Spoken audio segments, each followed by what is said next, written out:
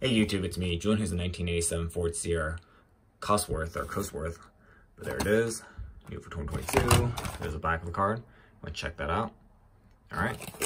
So I think this is the uh, second recolor. I think the first release was in black. This is in blue. So I just got the blue one because I thought it looked nicer in my opinion, or I like it more. But metal body, plastic base. Love the uh, orange base with the uh, blue. The Hot Wheels deco, kind of a retro look to it. Looks really nice. Nice to see a, a detailed version, but the headlights are separate plastic pieces, so that's nice. I do like it when they do that. Got side mirrors on the sky. So pretty sweet. All right, so there you have it. Thanks for watching. Please check out my other videos and keep collecting.